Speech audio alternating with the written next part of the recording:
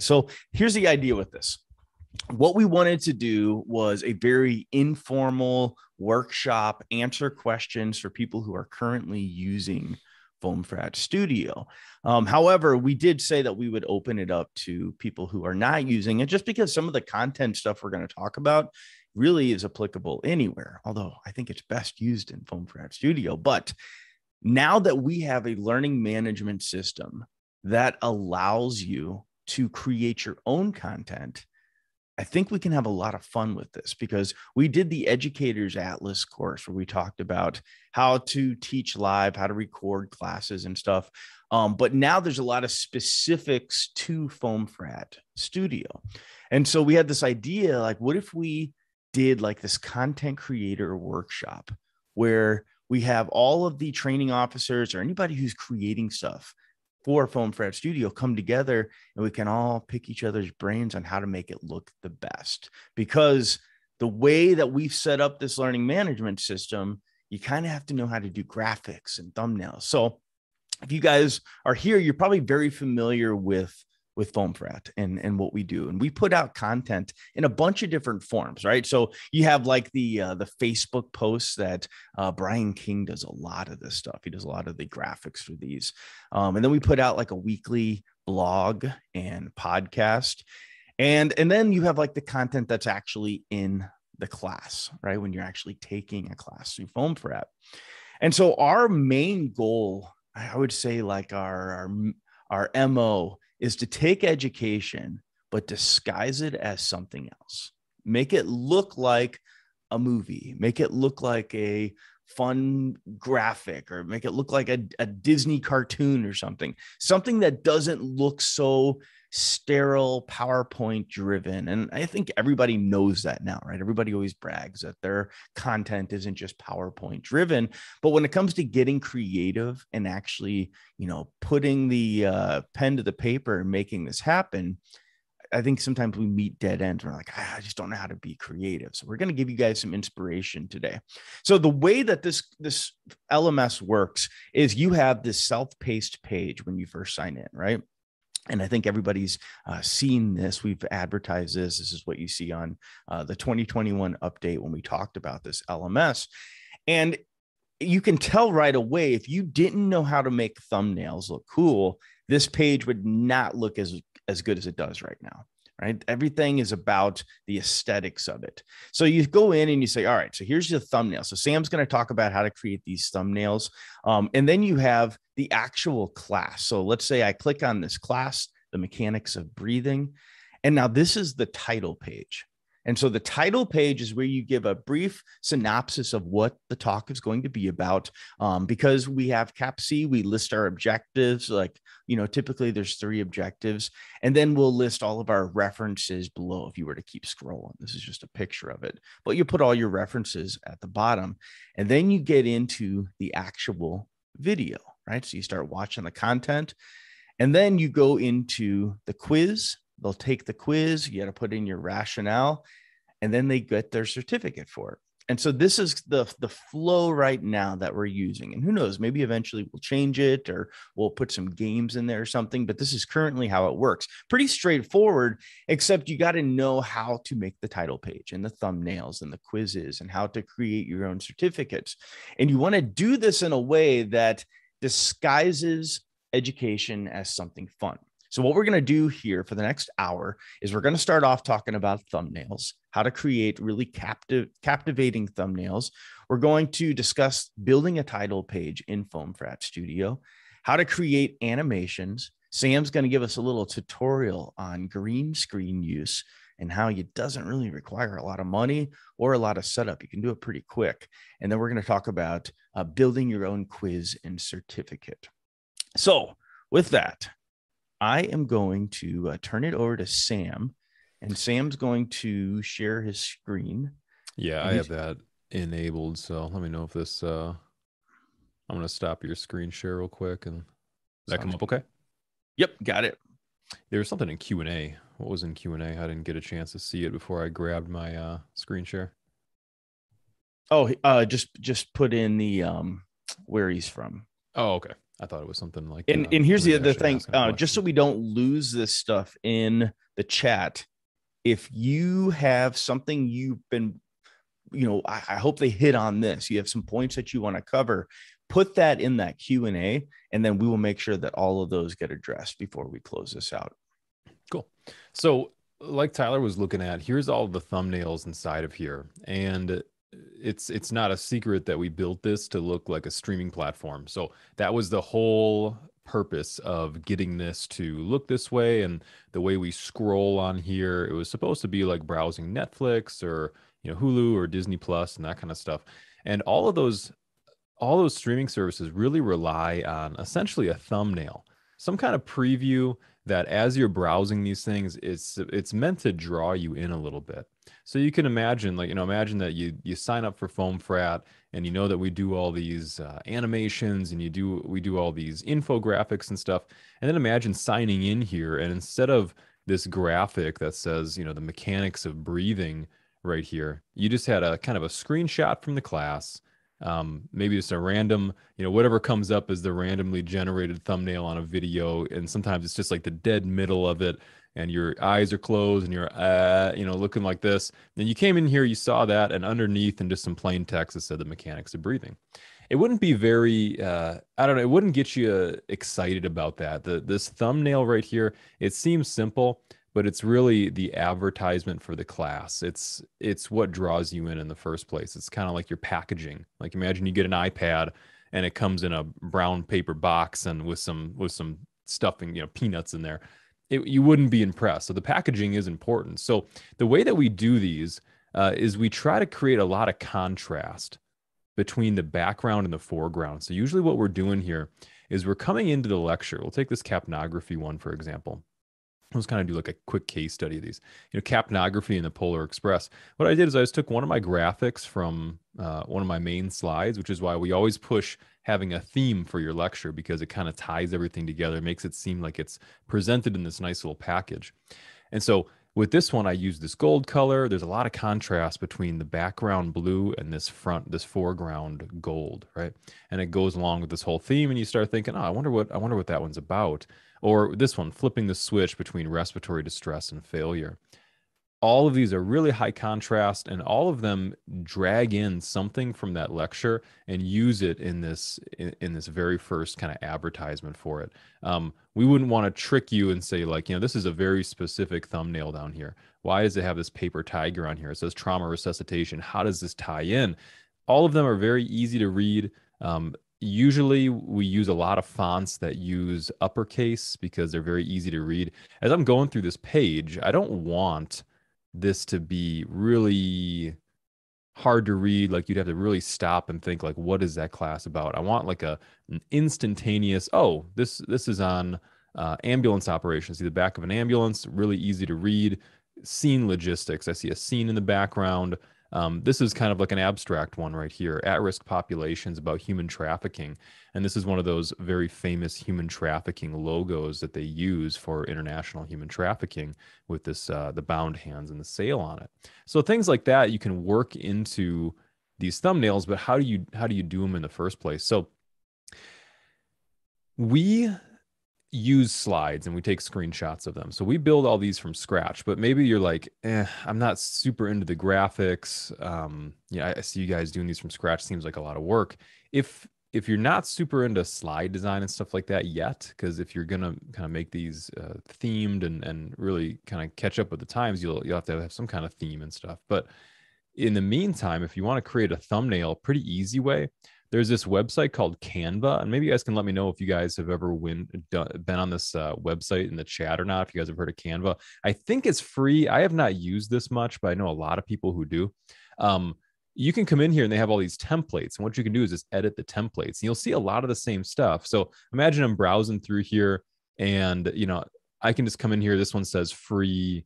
You know, a lot of these say like free in here and you can see they hook you up with a font they hook you up with like some borders and some colors and you can get an idea of, of what you're doing um, I'll, I'll just go back up here to this you know okay so this is like nothing to do with ems right well i could easily come in here and i can say okay i'm going to get rid of that person in there so imagine that i got rid of this guy i just come in here and delete him and I could put an EMS provider right there. Then I'm thinking, eh, I don't I don't really want like this uh this weird color in the background. Uh, you know, I don't I don't really like this like pink or anything like that. Then I could just come in here. I could like change it to like gray and I don't know, like like blue or something like that. I guess that's not the right little little slice right there. I'll get rid of get rid of that guy. I think it's this this slice right here. This one. It's somewhere in here. There it is. Um, you know, you could change this background into essentially you know whatever whatever you want. You could change it to gray and maybe that's according to more of your color scheme and you could change this stuff.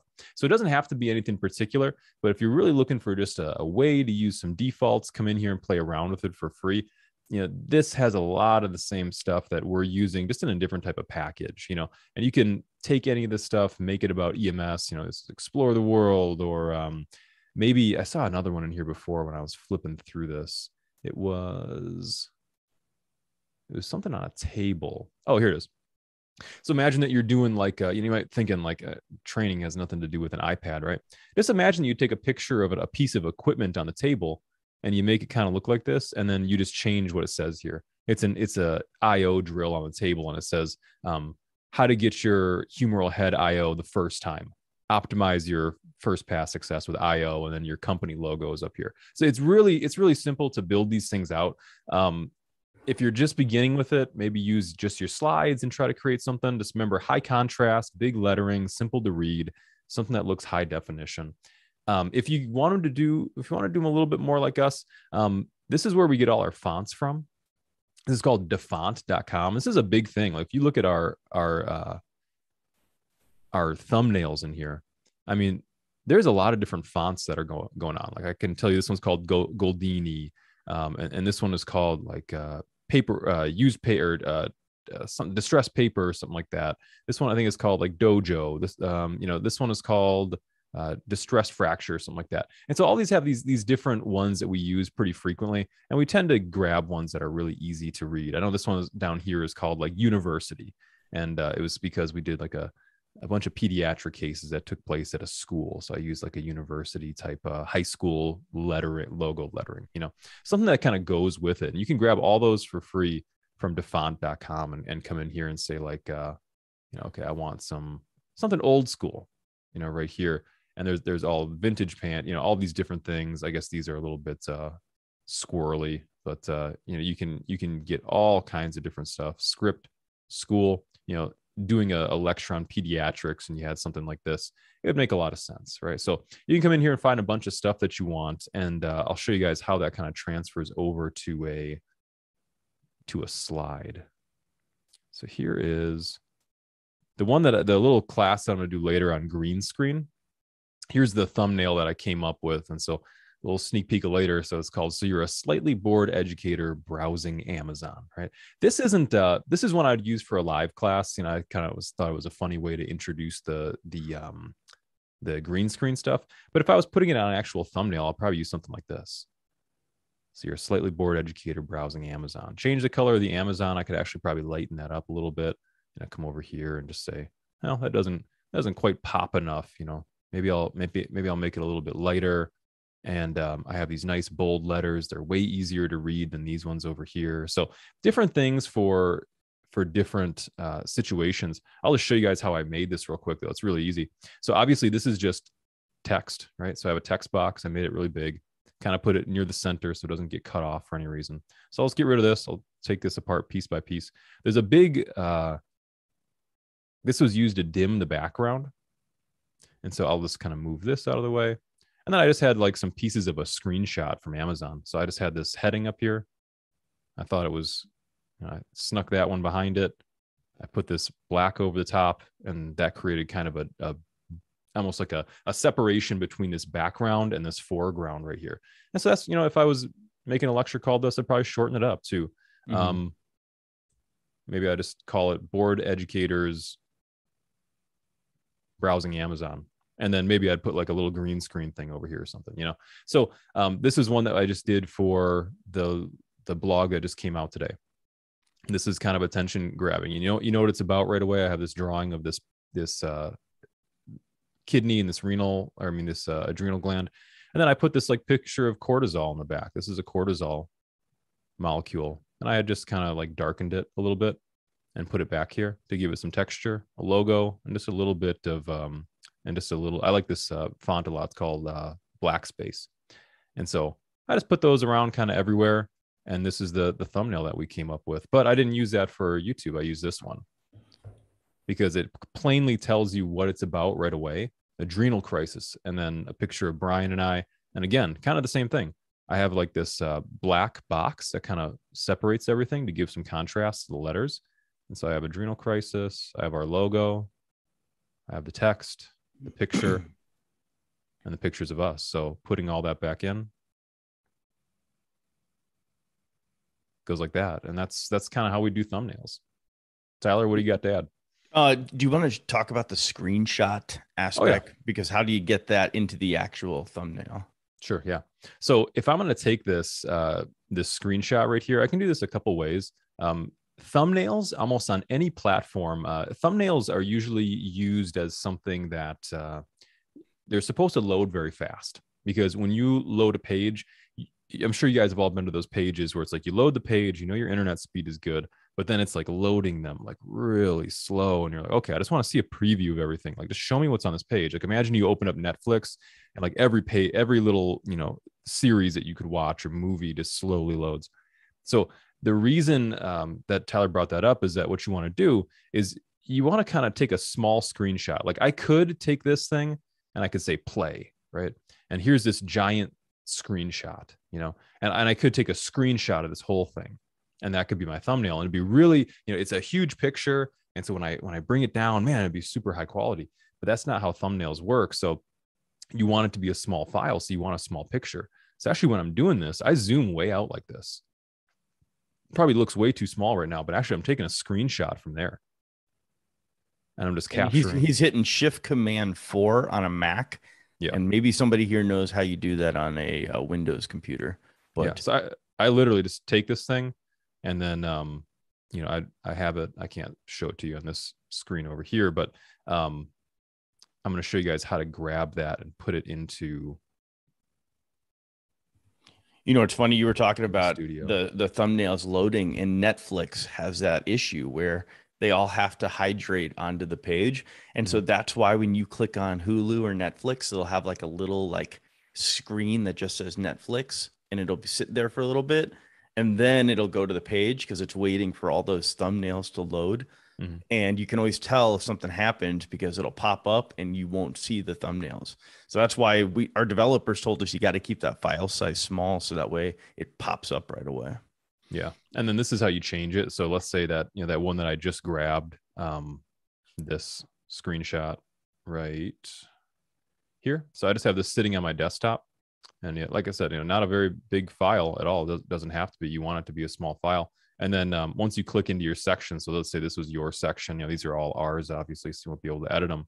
But uh, where your section is, like for instance, down here by podcast, if it was underneath podcasts, when you come in here, you can just click on this button right here, this little uh, pen, pencil, whatever it is, and uh, you can hit change selected thumbnail. And so I could come in here and I could actually grab this one. I'm not going to because I don't know where the other file is for that, but I would change that and then it would just, just create pop. a new one. Oh yeah, sure. I can just delete it. Yeah. So let's do. Test. You're gonna notice on this page it looks a little stretched out, but on the actual page it'll it'll pop up. And now just hit self paced and it'll refresh. I'll just I'll just refresh it. So I think I took that one a little too small. that one's a little bit. That one's a little bit too small. But um, I, I, would go a little bit bigger. Sometimes it's a process of trial and error. I suppose these pictures are just a little bit bigger than that. This looks a little bit grainy, so I'd probably maybe double the size. You usually want it to be underneath a megabyte. We'll see how far off I was on this one. This one ended up being a oh 64 kilobytes. So i have a really long way to go before it's too large. So i could have definitely uh, taken a larger screenshot of that. I went a little bit on the small side but it's better to go small and then and then work your way up until it looks good rather than uh, just not being able to to upload it at all.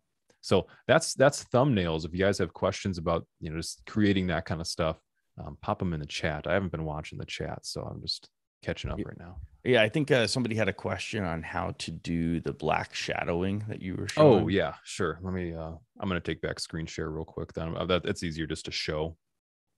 Um, well, I just moved all my stuff over here. We can uh let me move this. All right, I'll stop sharing there. So to do those black backgrounds, and you can do this in, um, I really feel like the easiest way to create these things is either in PowerPoint or Keynote. Um, all I'm doing here, so I'm going to get rid of this one. And so here's here's it without that black background. All I'm going to do is grab a shape. Everything we almost everything we do is just with shapes, and then we just edit them like crazy. And so it defaults to white. And so obviously this looks real this looks real stupid. So I'm just gonna go in here, change it to black. And then I just change the opacity. And so I just go like this until I'm happy with the contrast. Now, obviously this is in front of everything. So I actually have to click on this uh, text right here. And I control click it, or if you're on a, a mouse, I guess that would be a, a right click, right? Bring to front. And, and now I have this separation and I can just change the opacity until I'm happy with it just like that. And so I'm thinking, how, you know, how much contrast do I want? I don't want to black out the background like too much. You won't be able to tell. And too little, I won't have enough contrast. So probably somewhere right here, you know, in the middle where it gives it some texture, but it's it's got a lot of contrast. Nice. All right. I am going to share my screen now. And yeah, um, Heather had asked what was the name of that thing. Yeah, it was um Canva. See, oh, you got it. Okay. All right, cool. All right, so let's talk about the uh, the title page. So the title page we wanted to model after kind of like the the title pages that you see on Netflix, Disney Plus, where you have a picture, something representing the talk, and then you have a little uh, brief little synopsis on what it's about, and this is where you'd have your objectives, and then you'd have you know a play button that you could watch, and we'll probably add. We're we were talking about adding like um, uh, little stars so you could rate each class and stuff as we uh, as we keep adding on features but this is what our title page looks like. And so you'll notice a couple things. We have a backdrop and then you got this little play button here and then on here you have your objectives and all of the uh, the information on here. So what i'm going to do is i'm going to pull up FOAMfrat studio on here and i'm going to show you guys how to do this. So let me put this down. All right, so we're gonna say that we are uh, we're creating, or actually, I'll just go into how I set up some of these. So these are sections. So you see how it's like airway, respiratory, ventilation. That's a section. Cardiovascular is a section. Trauma is a section. And so when you're wanting to add a new section, you go into admin, and then you click this manage sections button, right? So this is how you're going to add in a section. So you hit this, you create a thumbnail, and then what that'll do is it'll create a new section on the bottom. So we just did that. We just created this this podcast one, right? And then when you click on the section, you see all the classes within that section. And then within this, if you wanted to add, you know, when we add another podcast, I just hit this little plus button right here and I create a class. Now, all this is going to do is exactly what Sam just did. It's going to create like a thumbnail right here. And then that thumbnail is going to have this little class builder. So you see this little uh, blue circle with the uh, triangle in it. That is the actual class builder. So when I open that up, this is where all the stuff gets built out. So I have my title screen up here, my video that I upload, my text content, and then the quiz down here. So the title screen, whenever you want to add one of these things, what you do is you you just scroll over this. You don't even have to click it. You just put your mouse over it, and you'll have quiz, text content, video, and then the title screen. So when you click add the title screen, it's going to give you a screen that looks like this. And so what you have here is the name that'll appear on the little sidebar where they hit next is the first thing they're going to see. You have a description, which would show underneath that. We typically don't put anything in the description area. And then you have to upload a background photo. So upload a background. Now, this is tricky because the background, as you can see when you look at the actual class, like if I open up uh, this one, the background has to be dark. So what Sam was just showing you, where you darken that, you take that opacity, opa- opacity, opacity, and make it dark, and then you want to get it as dark as possible with still being able to see the stuff that's in there. So what I'll do is, and I'll just slide this over here so you guys can see this. I will say, like, I'm going to take my talk I did on, uh, let's just say the uh, the sodium trap. This is a talk I do on on uh, hyponatremia, and let's say I'm uploading this talk into FOAMfrat Studio, and maybe I'll take this picture here. There's a guy drinking a beer, and so what I'll do is I'll just take a screenshot of this. And then I will put it in here.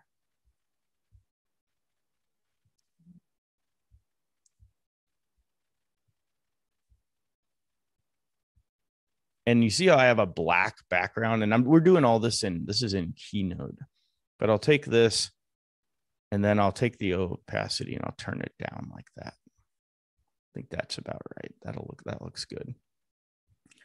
And so and then if you guys I'll, use actual photo editing software, we're just doing this because this is the easiest way.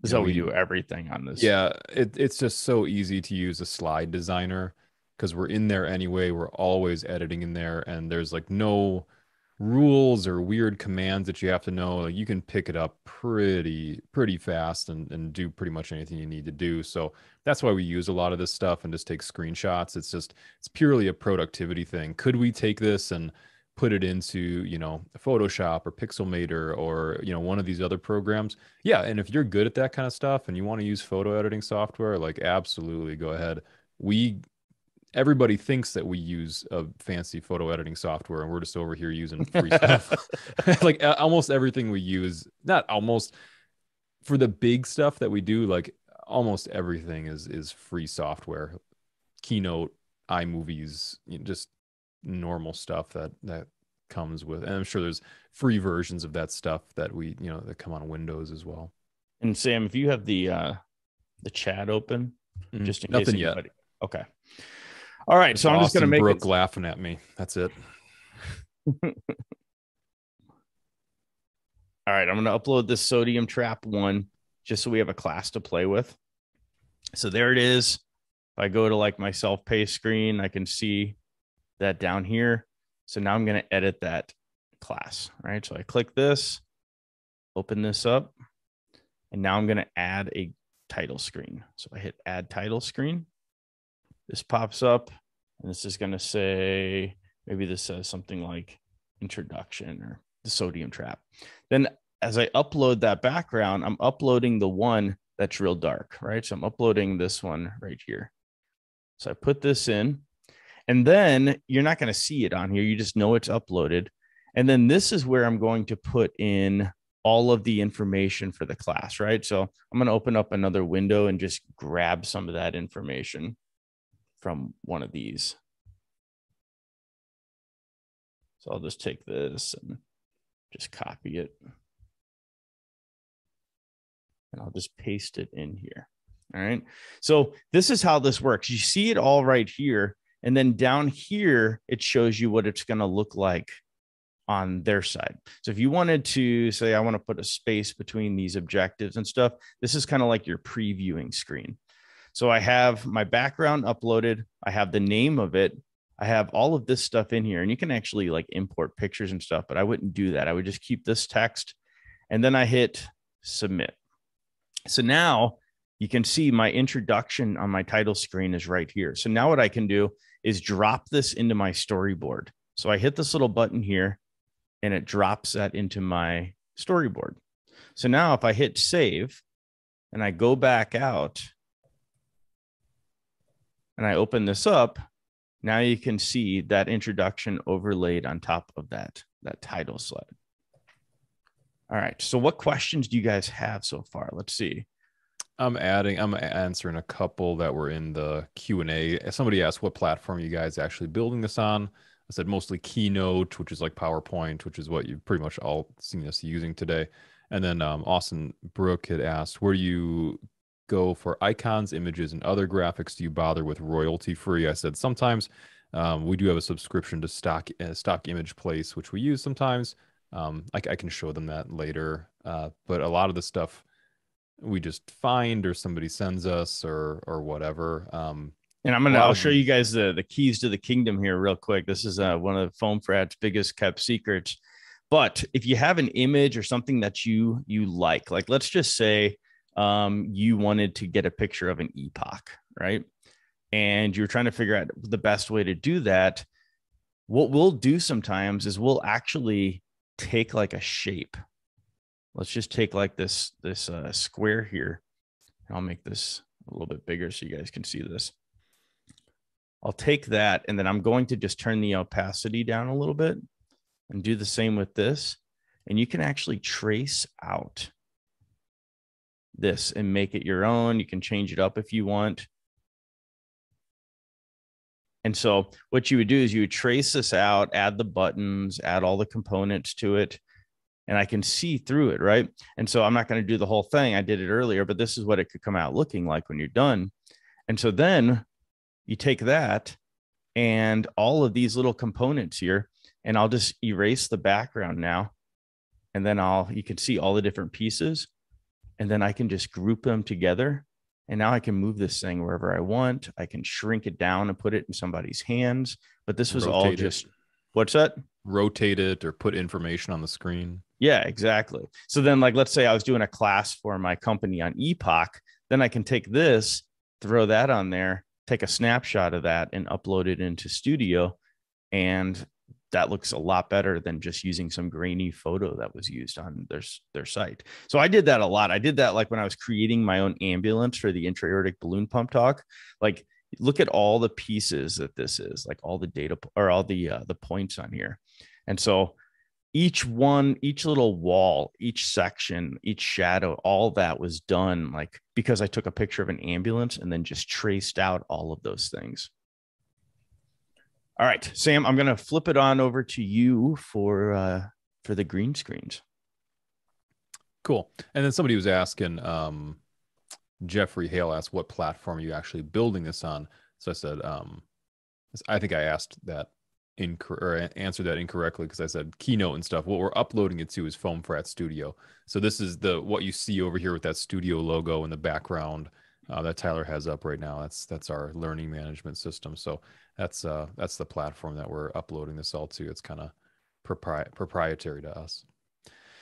Okay, green screen stuff. Yeah, let's talk about creating the actual videos. Yeah. Okay. Cool. So I gotta figure out. So I'm not gonna do a screen share first. So I'm actually gonna do. I want to show you guys around this office real quick first. So I'm gonna change my camera. Tyler and I were thinking of this really funny, uh, really funny joke before. How weird to see my. Oh, I'm gonna change my microphone too because I'm not gonna be next to this thing. You look like an alien right there. This is a weird. See how overexposed I? Isn't that really weird? Like, look at how how bright my face is. That's how bright my face really is right now. Yeah. you look through this camera with a different um with a different sensor on it. Isn't that weird? Yeah, and your mic just changed too. Did it? Um, so I got to change my mic. Hang on.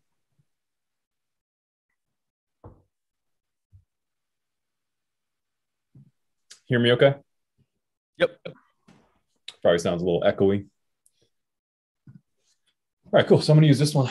All right, so we got this. So I'm going to show you guys my green screen uh, setup real here. So this is the camera over here.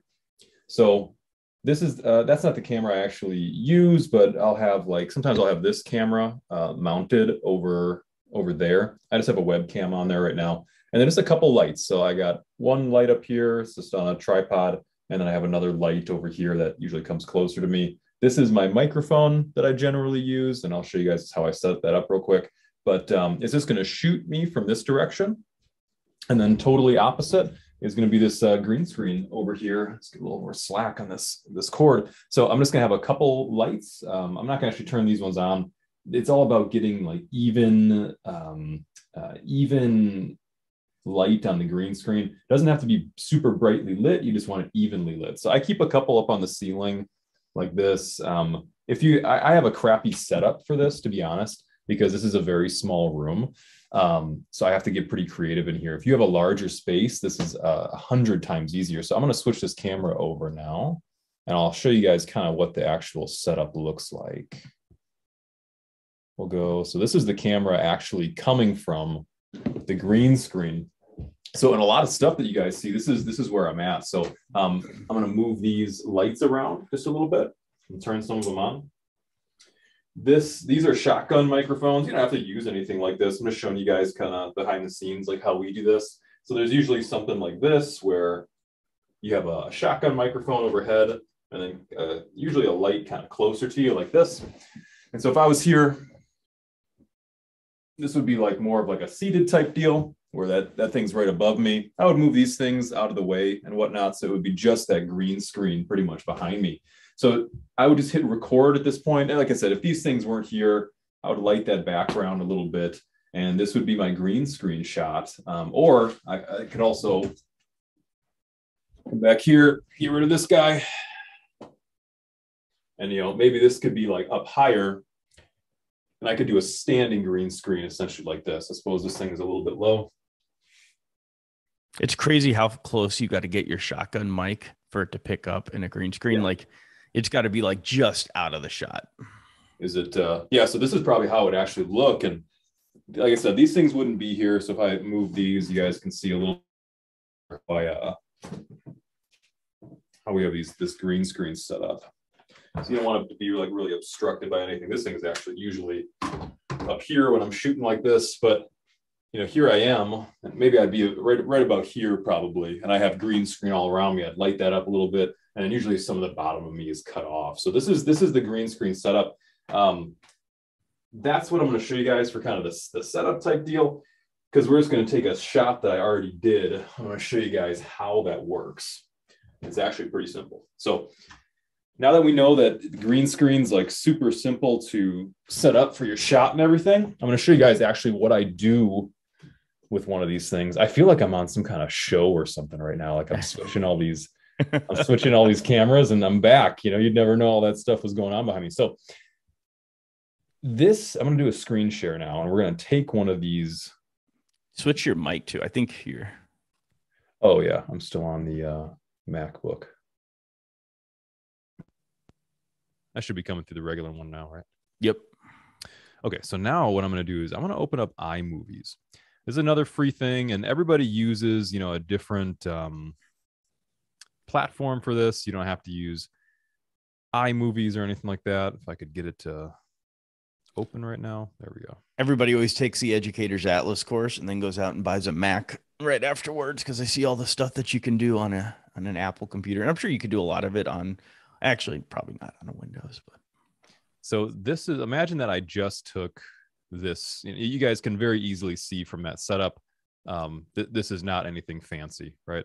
So how do you go from you know just having yourself in front of a green screen to actually doing something with it? So you know I could take one of these things and you're like, okay, let's let's grab something I want to put in the background. I just grabbed silly examples. I just threw this stuff together from stuff I found real quick and so it's like okay maybe i want to put myself in this spaceship and these you know th- this is green screen too where these things are cut out and that's really or it could be a png where parts of the image are missing and you're like okay i want to put myself on top of that i'm just going to see how it looks and so you come in here and so you drag this up here and you're like okay how come it's not working right so on this program for example you just come up here to this little picture in picture thing I just, i'm just showing you guys how this isn't a tutorial on how to use iMovies or anything like that this is just an example of how easy this is. So you guys understand the process and it really doesn't take any time. Imagine I recorded my whole video in front of that green screen. Now I just come in here. There's a little cleanup tool. And uh ooh, that didn't go very well. well, reminds me of that picture. yeah. Let me try that again real quick. Yeah, you can key out. It's called keying. This is called chroma key. And you can key out too much yourself. And so I won't do a super good job on this, but generally you just you just get rid of a bunch of that stuff and you know it, it starts to look like okay you know that doesn't look like very impressive right now but it's not the worst you know that could be a different background so what if i wanted to add another layer maybe i want to make it look like uh you know it this spaceship is flying through these maybe it's microscopic and it's flying through this this blood vessel you know so I could take those two, I could stack them, you know? And so now it, you know, it's pretty cheesy, but it, it looks like it, it works, you know? And then so then I could take myself and say, I'm going to put myself in there, right? So not the best, but this took three seconds, you know, you know, that, that is not very difficult to do. And you can tell that I really edited the colors on myself as well, because it wouldn't make a lot of sense if I was super brightly lit, you know, in this, in this scene, right? Or if I was flying through this like wormhole, like obviously my colors would be much different. So you have this wormhole. I wouldn't be like, you know, red and yellow in here. I would be I would be very washed out and I would be like a gray blue, right? Or like imagine I take this uh, Windows 98 background and I did my my green screen and so I would be like really overexposed in this one. You see how the the blacks aren't as deep. My shirt's kind of washed out because it's almost like I'm I'm out in the sun or something, right? So now that that looks a little bit different. Still, you know, for for garbage, it doesn't look that it doesn't look that bad. Or I could take like a moving background, like um like this one, and uh, yeah, maybe that looks a, a little bit better. I could probably do a little bit better on the on the coloring. Um, what you're going to see in a lot of green screens, and, and here I added like an effect. This is all very easy to play around with. I added an effect to me and the background, and now it kind of looks like I match a little bit, right? Like going from that Windows 98 um, to to this one, it looks a little bit more believable. And and green screen doesn't always have to look believable. It's just something that gives you some space it, it looks like you're in a wide open space. It kind of sets the watcher's mind at ease. Um, and it doesn't look like you're in this little confined, depressing space. You can use stuff that looks like it's right behind you too, like this. This is just some random. I just typed in like background, computer background on Google Images, and I grabbed this background right here. Now, this one is the first one that we're looking at that is not giving me a bunch of depth behind my camera. And it kind of looks like I'm standing or sitting right against a wall and it kind of looks weird. It's a very weird like um, separation between me and the camera. So what I could do is I could come in here and I could just edit that picture in the background a little bit, and then make it look like I am, you know, just do some quick edits to the color and stuff, and, and I could probably get myself to look a little bit more like I belong in that picture. And again, this this picture is not meant to look like I am really there it's meant to look like I have I'm in a production studio or something. I'll show you guys uh, what I mean here. So this is all really easy. Um, I showed you guys how to remove that background real quick. And you know, this one, this first picture started off looking like crap, but then you know we can use some other things, and you can actually get a pretty you know with that same video clip, you can get a pretty produced looking feel. And I'll show you guys some examples of what we've done there. So here's some quick green screen like uh, fails and whatnot. So I'm actually going to play this now. You just can you see that? Okay, is that set up all right, Tyler? Yep. Yeah, I see it. So, so you're a slightly bored educator browsing Amazon. And you decide you're gonna, you know, try one of these things and make it look like you're skydiving or something. Here's some just quick do's and don'ts. Um, here's a really common thing: standing right in front of it, having a wrinkly green screen. Here's what happens: you get wrinkles in here, and it ends up looking like a, a shower curtain. Essentially, it's like what's behind you, right? So obviously, if this was real, he shouldn't have a uh, a shadow here, so you want to be far enough away to have you know not have a shadow. And then the wrinkles in this are terrible, right? Really bad. And if you look, what happens here when you're too close to it, it's a low quality image, but you know whatever. You can still see the green bleeding off into him. So what happens in, in this scenario is that your shadow bleeds onto the green screen and the green screen bleeds onto you you know so so not good. We, we want to avoid all that stuff. So try to stay a little bit further away. Here's a it's a general setup. This is kind of what we were doing over there um, except i have a couple lights and so this is like kind of a general setup. You want as much distance between you and the green screen as, as you can pretty much. Otherwise um, some pretty funny stuff happens like you become the green screen. So if you like are wearing a color that is similar to the green screen it will project onto you which is pretty funny uh, it can turn you into a floating head, which is hilarious, or it can turn you into a video, which actually could be kind of fun if you use it the right way. this kid is really funny. This kid's like my hero. He wore a green screen to picture day, and they take your picture in front of a green screen. So they were not able to like remove the background without removing his shirt. So he like became the background, which is pre- which is pretty funny. So those are some green screen don'ts. Um, I don't know if you guys have ever seen the show Cosmos before and uh, they do a lot of really good green screen in there. This is actually kind of a crappy green screen that they did. Um, it's very obvious that he's in. He looks very f- removed from that background. It's kind of weird. The background is very hazy. He's very sharp. um, it's kind of strange. But if you took something like this and and you just got rid of him, like just to show you guys how simple this stuff is, um, I just drew over him and kind of edited the picture a little bit. I didn't do a great job editing it, but you know this is how it ended up. And you could use that as your background, and you could just put yourself right in front of it. So I call that the basic background essentially. Here's a picture of Tyler using it. So notice what's happening here. Tyler's got depth. This is from the 2021 update. Tyler's got depth behind him, and then it looks like an imaginary wall. And it looks like that thing behind him is very large because what Tyler's done here is he's created space. This looks like a floorboard back here. But your brain doesn't even really think about that. It just it's just thinking he's in kind of like this wide open room, but he's standing in front of a green screen. Same thing here. They can't even tell where this background really ends. It's kind of abstract. And then we know how a computer is shaped too. And so he's got depth right here because you, you know this is moving away from you. So it, it creates the illusion that something's far behind him. And then he just created his slide like that. Same thing here when I was this 2021 update. I'll, I'll show you guys the background that I use. It's right here. So here's that background. And I'm going to take this apart real quick and just show you guys how to do this. So here's the actual slide. Um, there's a light image right here. That backlight is everything too. That really Yeah. separates you from the background. Yeah. So here's here's the whole thing. You know, just just some colors, essentially. Some colors and some gradients. And here's like just a picture of a floor I found on Google. So I was like, floor, I want it darker. Put our logo on it. um, make the background dark, um, darker. Put some lights on it, and then just position them the correct way. That this is a little bit off, maybe, but you guys see what I'm I'm pretty much you know talking about here. Is I should probably get rid of that little black stripe. I don't know if I had it in the actual. I don't know video. why it's relaxing watching you do that. it like wasn't in the actual video. You can see in the actual video, I don't have that little black streak, but um, that's what it ended up looking like. And so that is a way to present information, present slides, and instead of your just your slides being behind you, because you can turn yourself into a talking head really easy. It's really easy to be a talking head, remove your background, and look like your slides are just your background. That's fine. Um, but it'll give it a really produced feel if you were to maybe even put your slides up like this, look like you're presenting almost in a room. And, and it's it's a little bit different. It takes a lot of playing around with. So that's the first kind, and that's just um, I just call that the basic background because you're presenting information next to you. Now, the other way to do this, and what Tyler and I have become a fan of, is something called the cutaway. So this is what I use for the second half of the 2021 update. I don't know why I chose this picture of myself. I think I just took a screenshot and that was it pretty much. But um, this, I want you guys to notice something very interesting about this. I'm going to use uh, these other pictures of myself as as an example here. Let's let's do this one.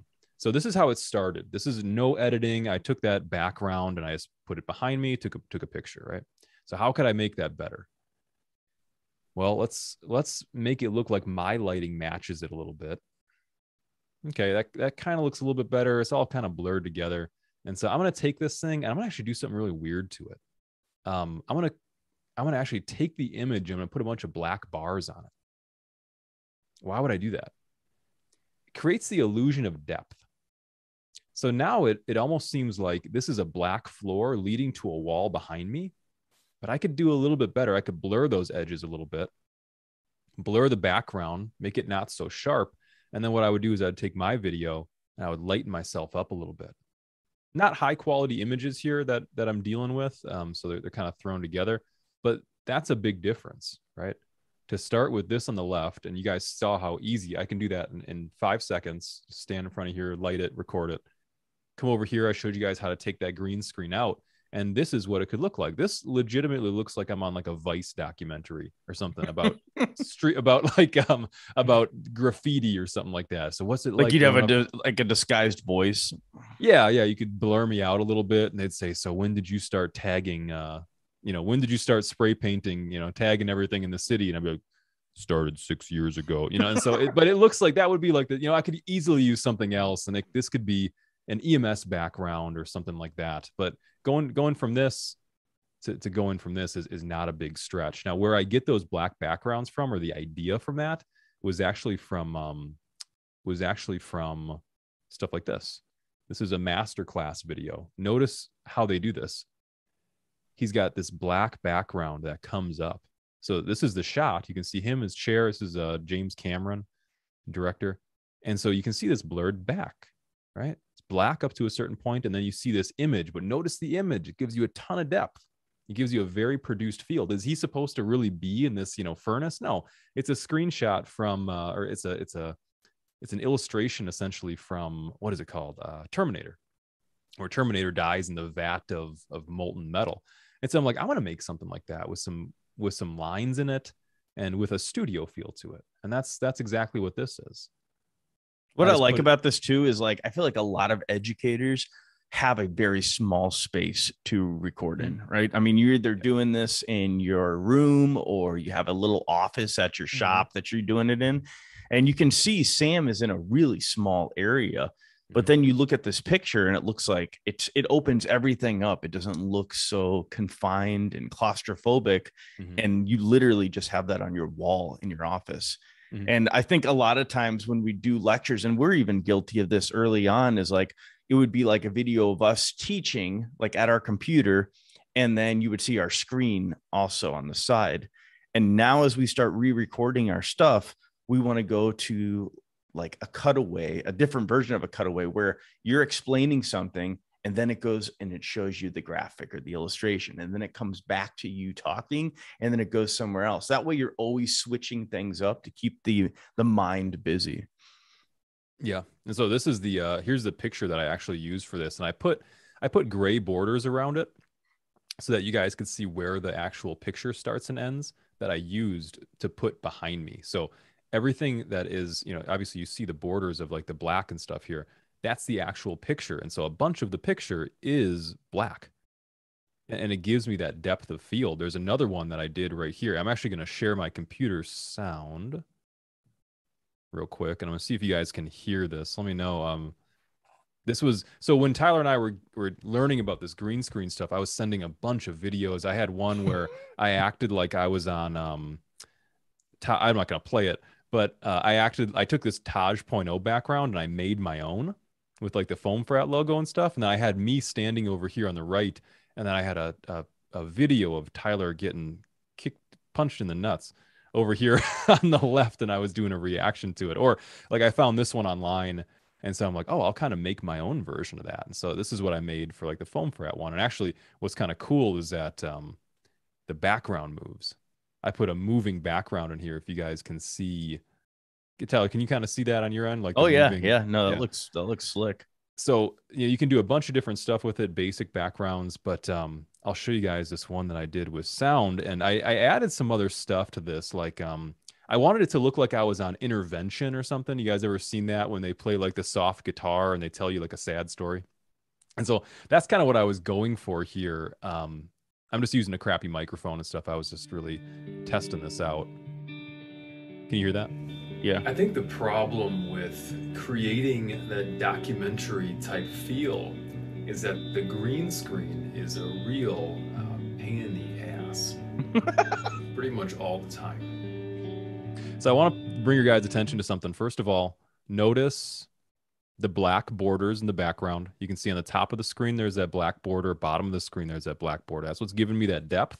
I'm kind of off center, and you can see my coloring kind of matches that background. If I was overly red or overly gray in this, you know, I wouldn't really match that background. So I adjusted my color to kind of match that background. So it would seem like that light's coming off of me. The other thing that can really give you a produced look is notice how the camera is panning. Uh, after I did the shot, what you can do is you can just program it to kind of go, you know, from point A to point B. And the whole time, uh, something that we're trying is to never have a still camera.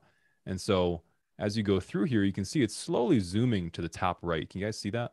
Mm-hmm. And then eventually it uh, it comes back out.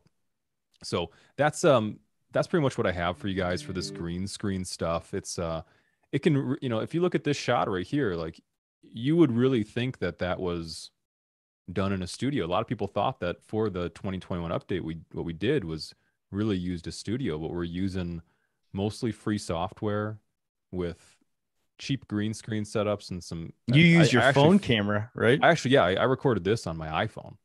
Um, so really, I technically I could have done this uh, without any equipment that I didn't already have. So it's it's really pretty simple. Um, it takes some it takes some trial and error though. You just have to make a bunch of stupid videos um, and send them to everybody and flex on them with your green screen skills.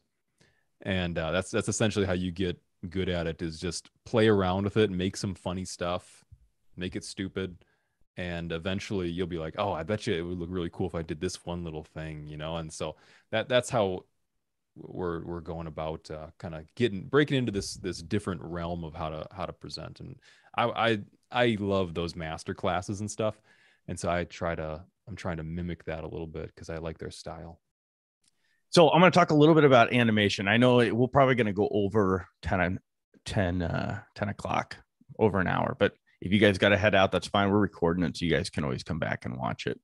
Um, sometimes you need an animation to help you tell a story, help you teach a class. And there's really two different types, right? So there's like the built-in animation where that's like I went in, I just put this this video in here and then I say, all right, I want this little probe to come in from the top and then I'm going to have a triangle form and then I'm going to overlay this. And these are all like real built in animations. And then you have like custom animations. And I don't know if you guys remember when we would do the FOAMfrat flashes but this one told a story about somebody with pericardial tamponade. And I wanted this little probe to peek out of the bag. And then you'll see like he actually comes out of the bag here in a second. And so we were trying to figure out like the best way to do these types of animations. And so I'm going to show you the first one, the built-in animation. So there is a app called Complete Body Atlas. You guys ever heard of that before? So this is a, a picture from Complete Body Atlas, and I'm actually going to bring up the um, I'm going to bring up that app real quick so you guys can see that. It's pretty cool. You still use that, Sam? Complete Anatomy. That's what it's called. Complete Anatomy. I will use that one and a couple other ones. There's uh that Anatomy Atlas, and then there's another one. I feel like I have maybe three of them or something. They all kind of do different stuff. Yeah, this is super nice because you can go in and you can find a certain thing that you're looking for, right? So I can turn on like the connective tissue if I want. I can put on like the uh, put it here's the arterial system. And so then I can zoom in on a certain area and I can just take a screenshot or I can actually record a video. So that's what I did with this. I just like I wanted one of like the uh, the heart and so I just got a picture of the heart. I recorded me going like this. And once I get that recording, then I just import it into here, right? So here is the actual video of like the heart pumping. And so then I just took this and spread it out. So now you can see like I got rid of all the words. So I'm just zoomed in on this. And then you can take, you know, I just took this little uh this little shape to show how to get a parasternal long. And so on Keynote, if you want to make something move, you take it and you got this animation up here. And I'm going to just show you the build orders, but you can make it slide down by picking which, you know, like so right here, I'm telling it I want it to move from top to down, top to bottom. And then I put another little thing in here to rotate. But those are all like these built-in animations. So like I could make, I'll just take like a square here and I could say, all right, I want this square to appear.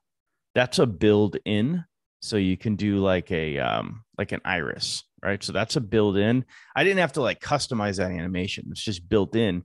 Or I can do an action. So an action is like if I wanted this to move from here to here, I'll do an action, move, and then I'll say where I want it to move to. I want it to move over here. And so then it does that, right? So now I have a build in for it. And then I have an action for it and it moves from there to there. And so that's like very elementary animation stuff, right? But let's say you have something where uh, you wanted like like I wanted this little ultrasound probe to be peeking out of the bag, or maybe you have a intra-aortic balloon pump talk and you want to see the heart actually contracting what I'll do is the same thing I showed you before. I'll find like a picture of an EMS bag on Google. I'll trace over it with all these different dimensions. And and then each one of these shots, you can just like take this and duplicate it and then change one thing on it. So this right here is just a bunch of different shots. And then what I do is I just fan through these real quick and I do a screen recording. So I'll just hit my, you know, I'll do like control five. I'll pick to do uh, just this portion of the screen. And then you can scroll through all of these real quick. So, all right, let's do a record. And then I'll just scroll through it. So eh, the, when whenever Sam and I are showing people how to build like your own ambulance or like this was a cath lab that I built, they're always like, God, it seems like it takes so much time to do that.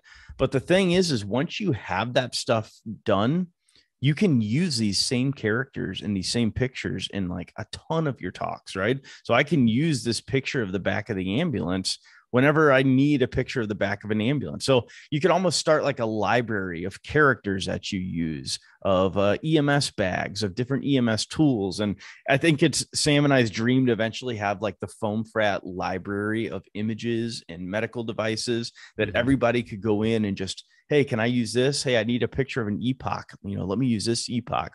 But that's the key to a really good presentation is finding ways to tell your story. And it can, I mean, you can tell these are just really simple drawings, but it helps when you're trying to explain to somebody how, you know, Norman came in and he's feeling weak and you see the lady typing on her computer right there and she, she gets him in the back and they, they put them on the monitor and then you get your EKG that pops up.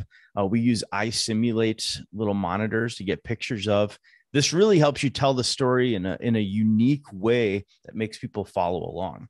So when you're uploading your videos into Studio, I'm going to open this up big screen here. I'm going to go into just like this class here. You're just going to hit this little plus button and you have the little movie button here and it says add video. Very simple. And there's no max like um uh, file size that you can upload. You can upload any file size you want. Uh, we wanted to make sure that that was possible so you could upload high quality videos in there. Which and was not easy to do. No, they had something called multi part upload. And so it takes the file, and the, the, developers did a really good job with that. But you can upload any size video. Um, I think it's just MP4 you know you, you, can't upload like SCORM files or anything like that or an and MOV then, I think I don't think it matters what is it or MOV M- dot MOV or MP4 four, whatever it is. Yeah. Yeah. And so then once you upload them, they're all going to pop up, populate here in the video section.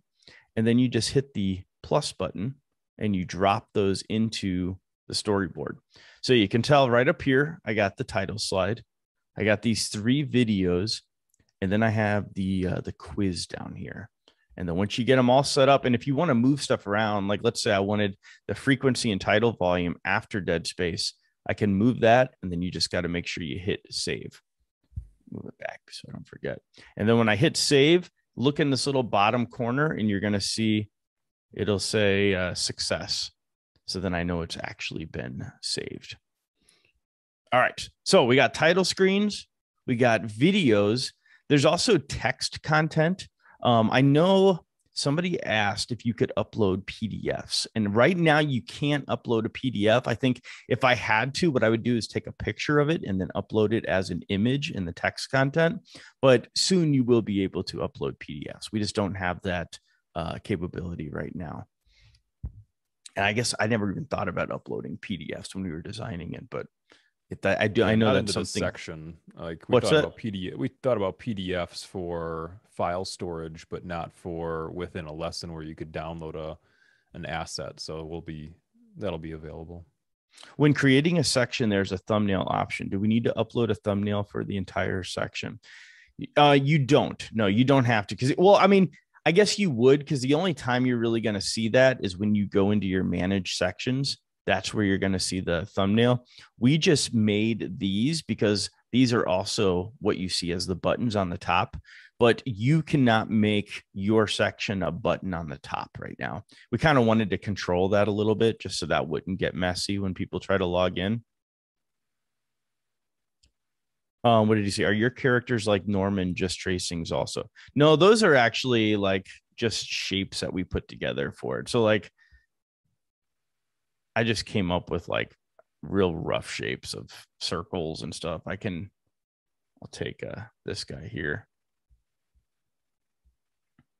I mean, I I just took a, a circle and then I tried to make like some hair for it and I did not spend that much time on on this. This is I did I did put a neck shadow on though, you know. I had to get that neck shadow. But no, these are just little characters that I've used. I've I we have gone more in depth with uh like the characters and I have traced some before. Um I was trying to find the uh the one that we did for the POCUS one. because that one we actually spent some time creating some characters. This one actually we we did the shadows for like the helicopter. We did a walking sequence for like I did like Piezo the probe and then like hands and stuff. So I I mean you could take a picture of your own hand and then like trace over it if you wanted it to look a certain way. Right now we're working on some stuff for FPC and uh, CCPC. And so I'm trying to do like the emergency shutdown sequence where it's, you know, you're doing the throttle fuel battery brake and I want to actually like simulate a cockpit and then be able to show all of those things for an emergency shutdown of a helicopter. So I'm in the process right now trying to animate out the entire cockpit so that way we can show that. So what I did is I went to work and took a picture of the cockpit. Um, does that, this character look familiar? This is uh this is well, it's kind of Roger from the uh from the, the 101 Dalmatians. I made him the flight medic, then I made like this little Batman symbol around that. It's a lot of fun and it's relaxing to just sit down and just be working on this stuff. And then as you're doing it, I almost I don't know if it's the same with you, Sam, but like you're spent let's say you're spending a lot of time creating something and you're going through like the ambulance as you're doing it you're thinking about how the talk is going to go and mm-hmm. like ideas that you could do and then one idea leads to another and when you're done with it here's the uh i had needed like two different pictures of like the ambulance i needed like the inside of it but when you're done with it you can just reuse these pictures you see him doing cpr and then walking in and putting the bag in Nobody would ever think that we're using Keynote for all of this stuff. Sam, anything you want to add with the uh, the animations? No, I don't think so. If you guys are just starting out with them, you don't have to use pictures and stuff like that. I mean, there are a lot of times where um, we have to present some information for like a summary or something, or a table or a graph on the screen. You want to show them a, an example of a graph that builds in, or like a table that builds in, or anything? Yeah. how yeah. simple that can be. Yeah, absolutely.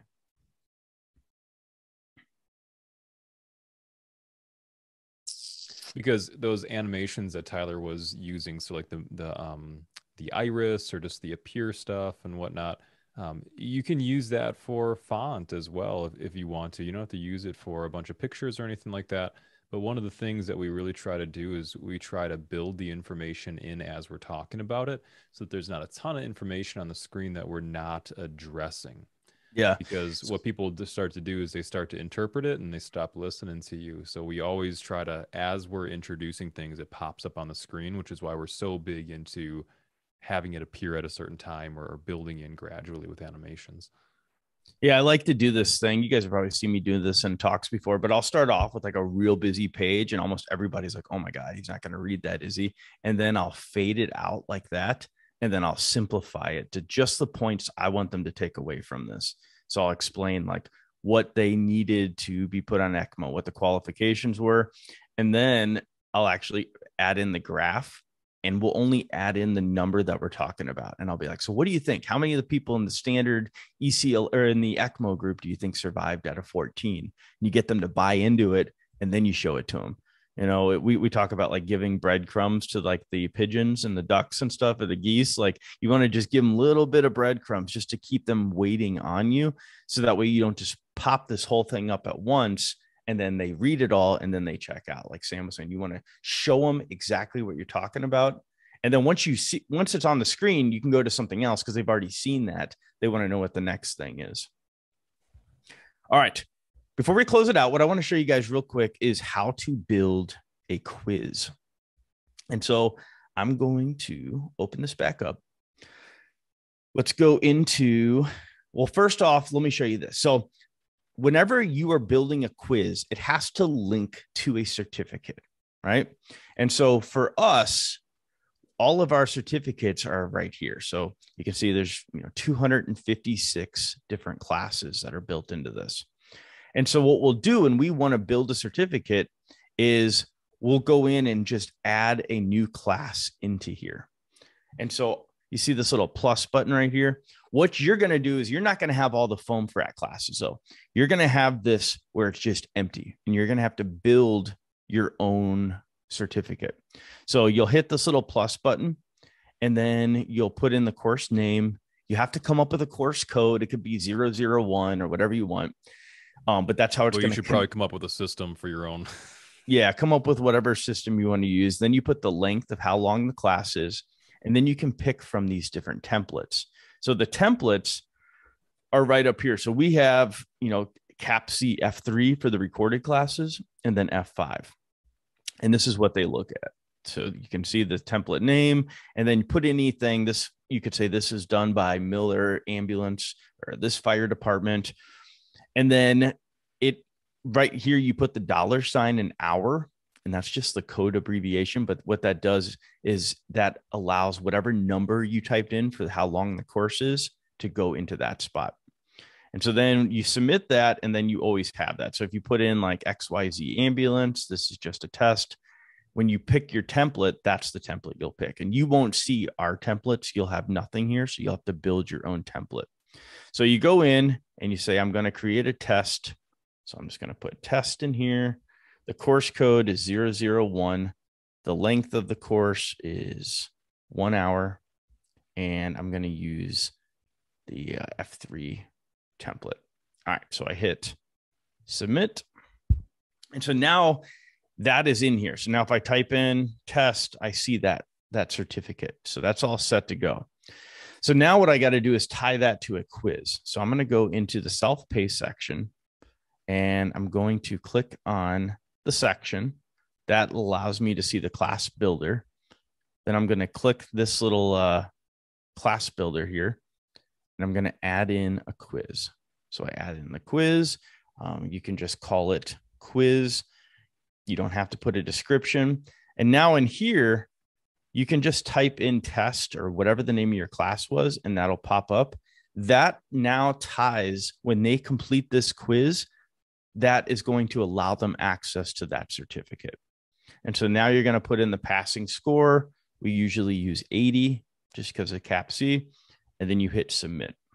All right. So now you can see that that quiz is built. Well, we haven't added any questions, right? All we did there was say we want to make a quiz and we want to connect it to the certificate that we just made.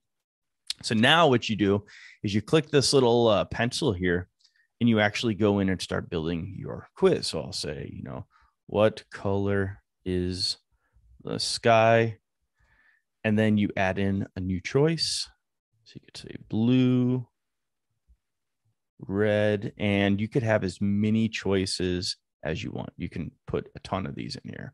Um, typically, we just use, you know, four, but if you wanted to do a true or false, you could do that. So now you got to pick which one of these is correct, right? So we'll say, all right, uh, let's put blue.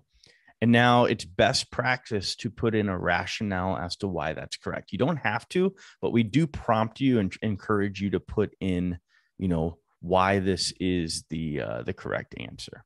Wavelengths. So, what's that? Whoa, wavelengths. So now I can go in and hit add a new question and then it goes to the next one. So you see this little scrolling thing up here, add in whatever you want. And then when you're done, you hit um, save and exit. Up here, you can edit the quiz info.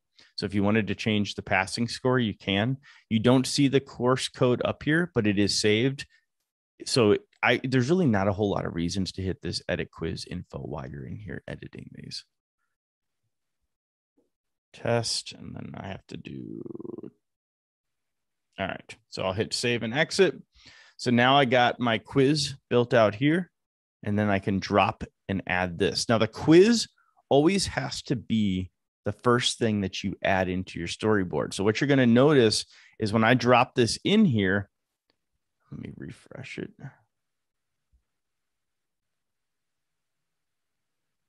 What's going to happen unless they uh so see what happened is it got rid of the title page.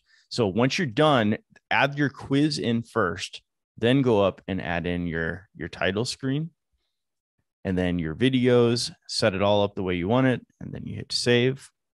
And now it'll appear that way when you actually are going through the videos. So, what questions do you guys have on this?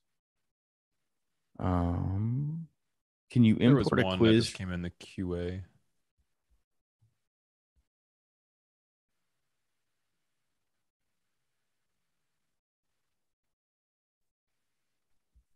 Can you import a quiz from, say, a Word doc or an Excel? No, all these have to be manually put in, which when we switched over to Studio, took a lot of time to switch all those over. Um, let's see. Is there any other questions? Let's open up this one. Can you add quizzes throughout? So multiple ones. So right now, the quiz has to be tied to a certificate. So the quiz has to be at the end. However, we do want the ability to have like you go in, you watch a video, and then you answer a question, and then you go in and watch another video. So you could select which quiz is actually correlated with a certificate. But right now, the quiz has to be at the end of it. Good question. Uh, so the quiz course code is the name of the test in certificates, not the course code. Yeah, because what we found is that we couldn't remember what the course code was when we would be in there. So I told them it, it would be a lot easier if we could just type out the name and it would take the name and actually correlate it with the course code. So it's not done by the name, but you can type in the name and it automatically ties that course code with it. So right now, when you go into certificates, you're not going to be able to add one because we are, I want to say like maybe a couple days from having the templates all set up. What we had to make sure is that this was not going to go to CAPCE because right now it's set up for all of this stuff to go to CAPCE uh, when we create a certificate. So we just had to subdivide that amongst all of the the different services. So right now we have 50 something um, people that are 50 not people 50 services that are using FOAMfrat studio we did the math the other day what was it sam how many certificates are we processing every 15 minutes like No, it was like more than that. It was like we're processing one on. Yeah, I think it's on here. I think we're processing one every five minutes or something like that. every five minutes Every somebody's processing twenty a- four seven on average. Like I, I took our monthly and I divided it by thirty and then by twenty four to see how many we were doing per hour, and it came out to like I don't know. I did it by minutes, and it ended up coming out like one every five minutes or something like that. 24 7, 365, which is a lot. Not counting the live classes. Yeah, that's insane. All right. Well, we appreciate you guys jumping on, and we are, as always, are open for questions. If you guys anything comes up, um, what we want is to do this on a quarterly basis and jump on and show you some things that we're working on, how to best use uh, FOAMfrat Studio, so that way you guys can build your own content. And Sam and I will probably snoop around and look at the different uh, classes that you guys build and and see how it's going. We can kind of sneak in and peek into the different areas. Uh, let's see. Uh, are you guys building the certificate templates, or is that something we upload? Um, the so the the actual wording of the template will be something you put in, but it'll be a very like general like certificate looking background. You'll just have to put in the text info essentially, and then you guys will get kind of the the FOAMfrat default certificate, but it, yeah, it'll have like your wording on there and whatever you're counting the hour for internally. Yeah, and I will um take this. This whole thing has been recorded, and I'll probably upload it. I don't know. I'll upload it somewhere so you guys can have uh, access to it. Uh, for pics and anatomy, what did John say? Oh, can you list the sites to use. Oh yeah. Um, so you want to get the names of those apps? Then I'm going to show them. I'm going to show them one of the stock things real quick. Yeah. I'm just going to share this real quick.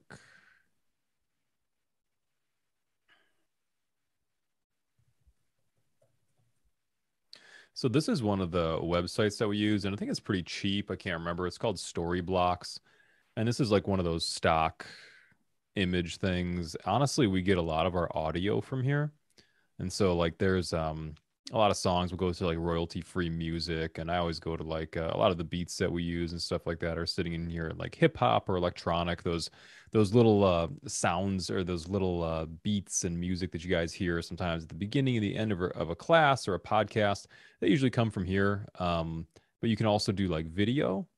And we come in here it seems like a bunch of stuff that's like not really applicable to anything you know but when you come in into here you might type in like i don't know let's see what you never know what you need until you're looking for it. But like here's medical, you know, and so like a bunch of different, you know, if you're doing a patient scenario or something like that, and you're telling the story and you play, and you know, and the, and the patient was getting her blood pressure checked when she said she began to feel lightheaded, and you know, or the family was present and they're comforting her for the transport, and here's what you find before you start going, you know, so um or you know you you reported to to cath lab to surgery and it's playing this little thing over here so um we're used incorrectly, stock footage can be completely awful and it can make you look really cheap. Or if you use it correctly, um, it can really add to your story if it's not overdone. So, like, here's one you could use for a for a case for a for a woman getting an ultrasound, and you know this sets up the story, and for some reason you were called to them or something like that. You know, so um, not just the medical ones do we use, but you know I feel like the majority of the stuff that we use is actually not medical and we're using it to an illustration or a background or something like that. So that's a lot of the stuff that we use. Um, I can't remember how much we pay for this Storyblocks thing, but I don't think it's really that expensive and we get unlimited downloads. So you can also do like um, backgrounds and, and whatnot for different um, platforms. And so some of those ones where we were flying through space before, or the blood vessels, that's what I'll show you guys. So like that blood stuff we were looking at here's I don't know, maybe this is the one or is this the one I used? Yeah, here's here's the one I used right here. Isn't that the one we used when we were acting like we were we were uh, swimming through the vessels? Maybe one of these, I'm sure. Something like that. Maybe this one. I'm not sure. Yeah. But yeah, there's a there's a ton of different stuff on here. And like I said, used correctly, you'd you'd use this in like a cutaway. So I'm sitting here talking to you. I have the green screen background, some kind of some kind of thing.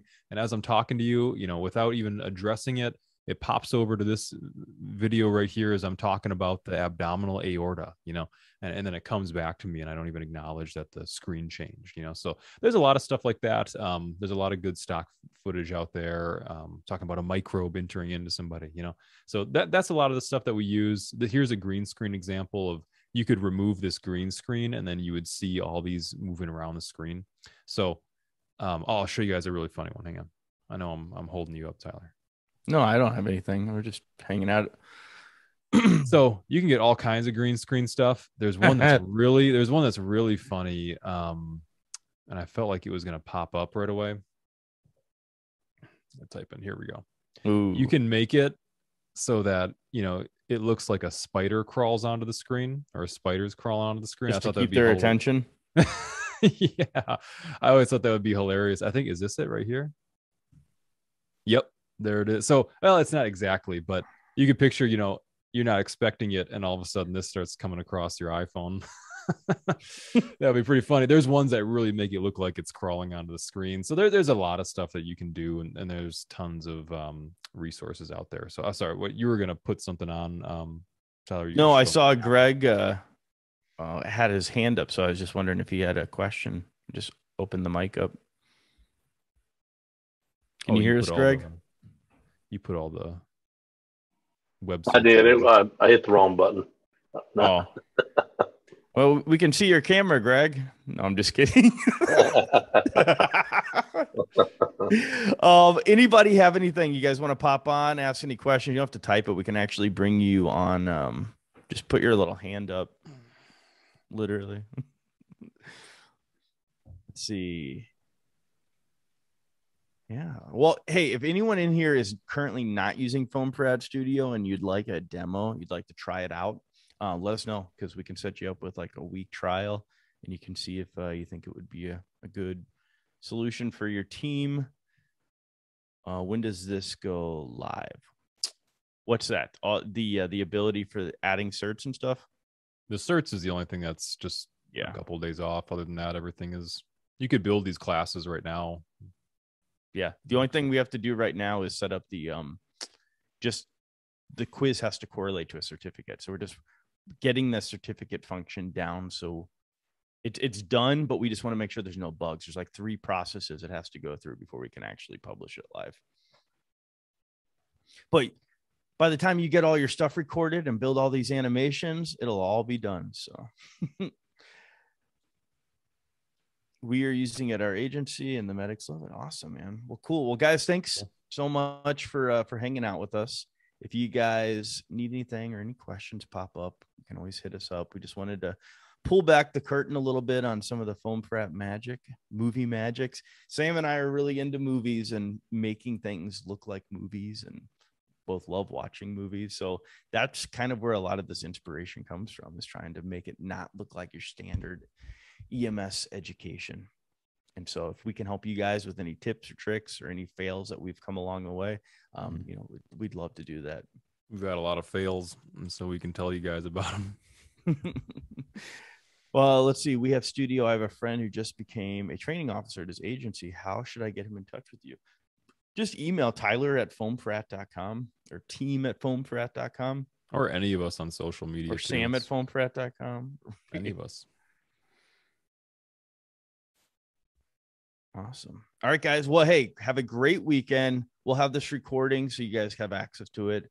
And uh, we'll, we'll probably just put it up in, in studio so you guys can watch it. Yeah. All right. Cool beans. We'll see you guys later. See you guys.